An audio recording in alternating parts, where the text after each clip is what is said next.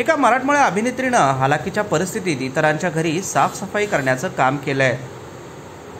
या अभिनेत्री म्हणजे शशिकला जवळकर. शशिकला मूळच्या सोलापूरच्या. एका सदन कुटुंबात त्यांचा जन्म झाला. त्यांचे वडील मोठे व्यावसायिक होते.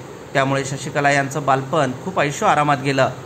शशिकला यांना लहानपणापासूनच गाणे नृत्य आणि अभिनयाची आवड असल्यानं त्या अनेक स्टेज शोजमध्ये भाग घेत असे. पण एक दिवस आला जेव्हा त्यांच्या वडिलांनी हे सारं गमावलं आणि ते कंगाल झाले. पुढे शशिकला यांचं कुटुंब सोलापूरहून मुंबईत कामानिमित्त येऊन पोहोचलं.